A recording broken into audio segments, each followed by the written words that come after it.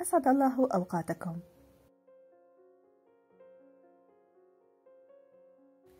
إن لكل إنسان دلالات معينة في شخصيته وشكله ومظهره وحتى في طريقة تفكيره وأسلوبه في الحديث. ولكن يجب أن لا نغفل أن اسم الإنسان المسمى به والحروف في اسمه لها دلالات كبيرة ومؤثرة على شخصيته. ويجب أن يكون في الحسبان أن الحرف يعتبر بهذه الصفات والمدلولات بحسب ترتيبه بالاسم وبحسب تاريخ الميلاد وحسب الحروف التي بعده أو قبله. فكل منها له تأثيره الخاص عليه لأن كل شخص يختلف عن الآخر وهذه الصفات ليست إلا صفات مشتركة.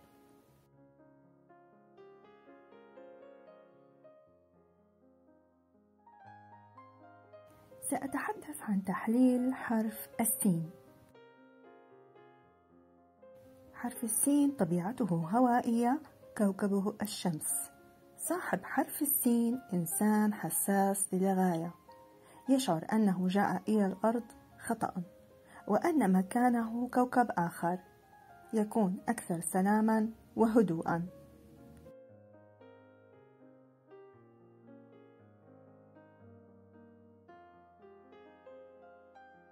يميل أصحاب حرف السين إلى الهدوء إلى حد ما أو بشكل أصح يميلون إلى التطرف حيث نجدهم إما هادئون جدا أو صاخبون جدا ومجنونون بالمعنى اللطيف للكلمة.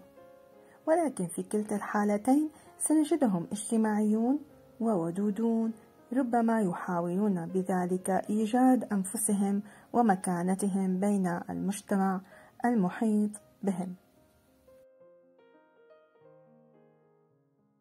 صاحب حرف السين على الأغلب يكون صاحب موهبة فنية فهو إنسان عاطفي وينسجم مع اللامعقولية. وهو صاحب خيال واسع ويحاول التطلع على العالم من حوله لاكتشافه أكثر. صاحب فضول ويحاول دائما الظهور كشخص متحرر من القيود ومتفتح. ولكن لنقل أنه في قرارة نفسه متمسك بعاداته وقيمه ومبادئه مهما أبدى عكس ذلك فهو يتمتع باستقلالية ويحب الموسيقى الراقية ويمتاز بالذوق الرفيع ولكنه محب للتملك بعض الشيء.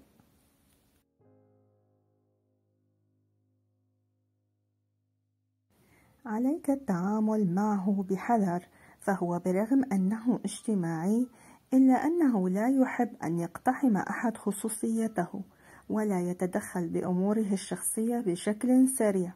فهو لا يأمن لأحد إلا بعد فترة طويلة فلا تحاول أن تعرف ما في حياته الخاصة مبكرا.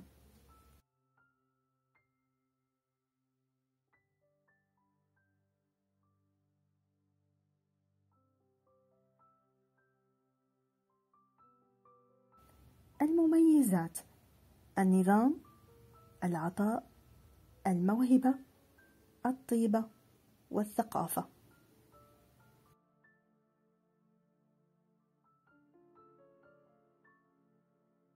العيوب الحساسية الزائدة الغيرة الفضول سرعة الغضب. القدرات الخاصة الموهبة الفطرية بالفراسة وحب المعرفة سيجعله دائما يبدو مثقفا لاتساع مداركه. ولكن صاحب حرف السين يخدع بنفسه في بعض الأحيان وقد يتهم بالفلسفة الزائدة لمباهاته بنفسه وبكثرة معرفته وقراءاته. بالنسبة لعلوم الطاقة طاقة هذا الحرف تكمن في البخور الجاوي من حيث اشتمامه واستنشاقه في أيام الجمعة على وجه الخصوص. فسيعيد شحن الطاقة عند صاحب هذا الحرف وأيضا مع اجتماعه مع حجر العقيق. إذا وضع في الإصبع البنصر فسيعطي طاقة إيجابية هائلة ويدعم الهالة.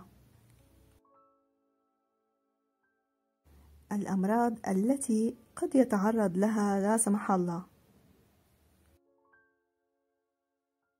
غالبا الصداع النصفي والكلى وأمراض الصدر. الأكل الذي ينصح به اللحوم الحمراء السبانخ اليقطين السكريات.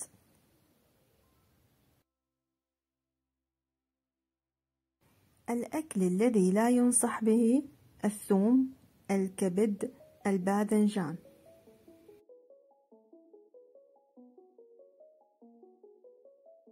أيام السعد بتاريخ الخامس التاسع الرابع عشر الثالث والعشرون والسابع والعشرون.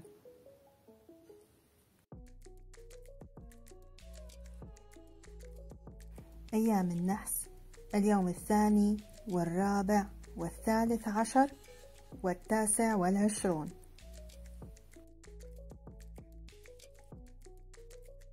الألوان الإيجابية اللون الأحمر الأزرق البرتقالي. أما الألوان السلبية اللون الأصفر الرمادي الأخضر الغامق.